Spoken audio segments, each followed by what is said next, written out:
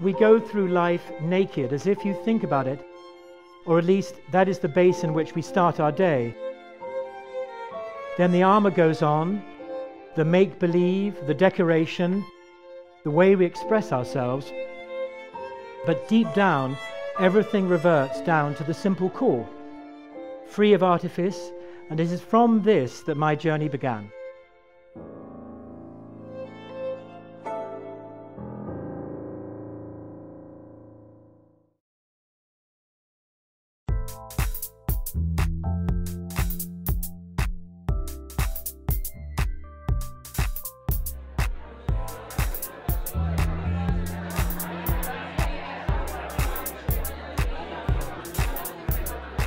I want to thank, huge thank you to Arica for everything that has gone on behind the scenes to bring me here and provide this wonderful opportunity for my second exhibition in Chicago. Water is the essence of life. Without water, we would not exist.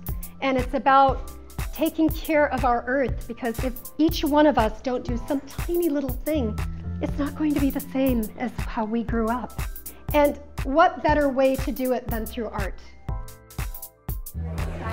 Well, it's a very organic way to represent the water because um, water is so fluid in the way the people are represented. Um, it, it, has the same kind of feel, so it all seems like one. There's a first impression, a second impression.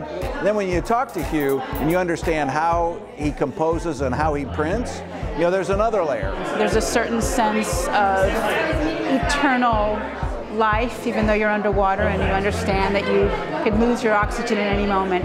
The element of water really opens up a whole new opportunity for him, a whole new perspective on how you view act photography. So the combination of that I think is very unique. I've never seen anything like it. These photographs inspire peace and stillness, harmony and love when we walk away.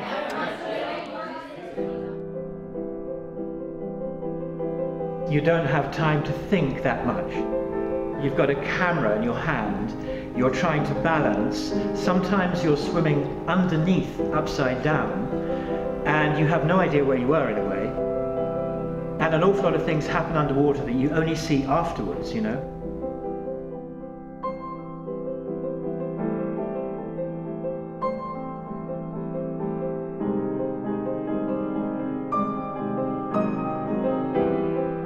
Wanted to show in panoramic pictures strong stories. So that lessons in life, uh, influences in life, whatever. So I would go onto the internet, I would look at theatre, I would look at ballet. Visually, it's not easy to come to those conclusions, and it takes many, many months, years even. Everything starts with a tiny embryo of an idea, which gradually evolves over a period of around three years. It sounds like an eternity, but during that time it is a huge learning and growing process within myself.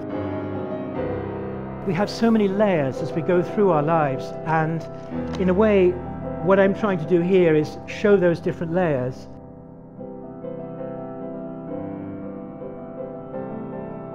Everybody has their own take on art and what it means to them, so the message is if it moves me, I hope in some way that the pictures will move you.